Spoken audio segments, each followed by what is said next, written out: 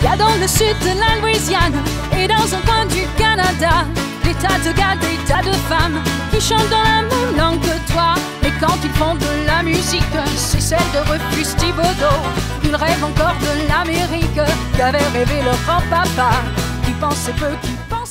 Bonjour, c'est Natacha Saint-Pierre. Retrouvez-moi le 9 août pour fêter l'Acadie, pour chanter l'Acadie. J'espère que vous serez nombreux. Je serai avec mon équipe de musiciens. On va danser, on va bouger, on va s'amuser. D'ici là, passez un bel été et on se retrouve le 9 août.